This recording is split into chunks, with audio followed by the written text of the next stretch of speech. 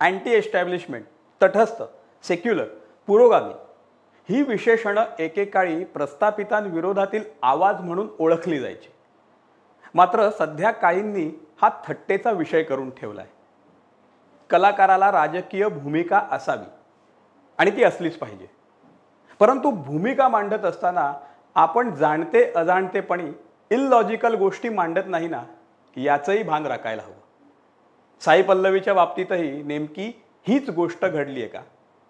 काश्मीरी हिंदूंचा अवमान करून त्यांच्या जखमांवरल्या खपल्या काढून तिनं नेमकं काय मिळवलंय? नेमका आत्ताच हा विषय चर्चेत कसा काय आला? जाणून घेऊयात या व्हिडिओतून. नमस्कार मी प्रसाद थोरवे. माझ्यासोबत कॅमेरावर आहेत योगेश कुंभार.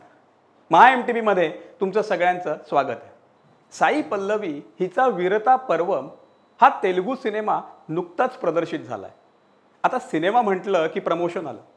प्रमोशन करायचा म्हणजे जितक्या बजेटचा सिनेमा झाला आहे त्याच्या दीडपट जास्त खर्च हा प्रमोशनसाठी करावा लागतो.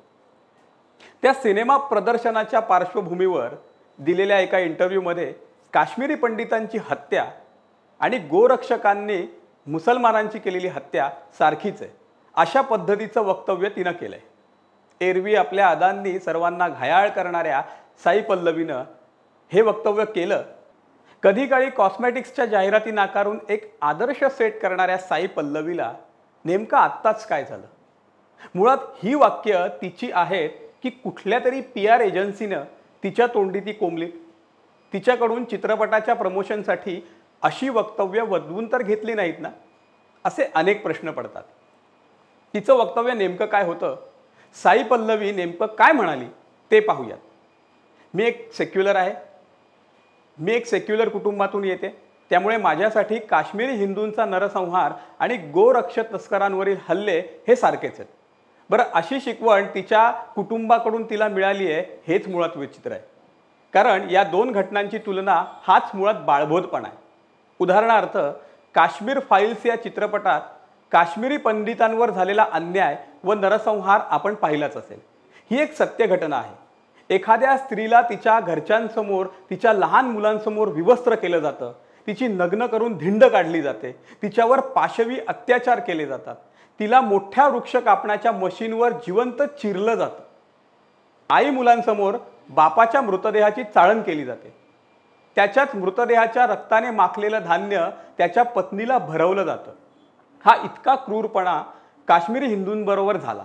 आजही तिथल्या हिंदूंना गोळ्या घालून संपवलं जातं सरकारी कर्मचाऱ्यांना दिवसाढवळ्या दहशतवादी मारून टाकतात कित्येक वर्ष काश्मीरी हिंदू आश्रिताप्रमाणे जगत आहेत मात्र याबद्दल संवेदना दाखवण्याचं सोडून साईनं फक्त काश्मीरी हिंदूंच्या जखमावरील खपल्या काढण्याचं काम केलंय. कुठल्याही हिंसेचं समर्थन शक्यच नाही. मात्र म्हणून गायीची तस्करी दरम्यान होणाऱ्या मारहाणीची तुलना ही काश्मीरी पंडितांवर होणाऱ्या हल्ल्यांवर करणं कितपत योग्य आहे?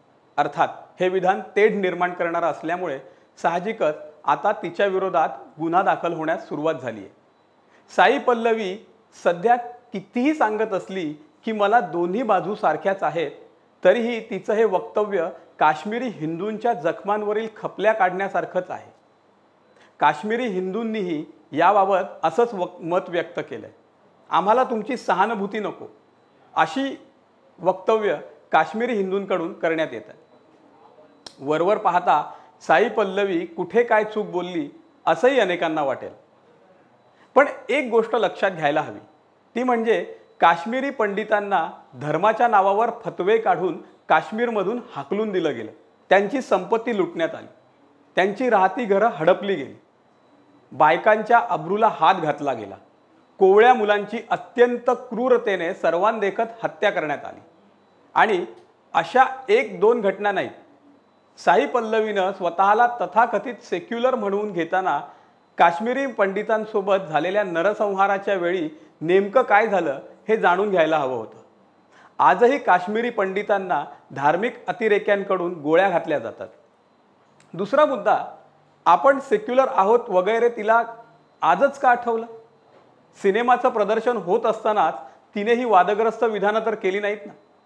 सिनेमाची प्रसिद्धी व्हावी हा त्यामागचा उद्देश तर नव्हता ना. अशा अनेक प्रश्न आपोआप निर्माण होतात आणि तिच्या भूमिकेवर प्रश्नचिन्ह निर्माण होतं. कारण सिनेमा चालवण्यासाठी किंवा प्रसिद्धीसाठी वादग्रस्त विधानं करण्याचा प्रघात हा फार जुना आहे. तिसरा आणि महत्त्वाचा मुद्दा म्हणजे आपल्याकडे फक्त आणि फक्त विशिष्ट समाजावर अनन्वित अत्याचार केला जातो असा एक नॅरेटिव्ह गेल्या काही वर्षांपासून तयार केला जातोय. काही अर्ध्या अळकुंडाने पिवळे झालेल्या तथाकथित विचारवंत त्याच प्रकारची ओरड करताना दिसतात. त्यामुळे अनेक लोक त्याला बळी पडतात. साईच्या बाबतीत हे असंच होण्याची शक्यता नाकारता येत नाही. याबद्दल तुम्हाला काय वाटतं ते कमेंट बॉक्समध्ये कळवा. महा एम टी व्हीच्या फेसबुक पेजला लाईक करा. यूट्यूब चॅनलला सबस्क्राईब करा. व्हिडिओ आवडल्यास शेअर करायला विसरू नका. धन्यवाद.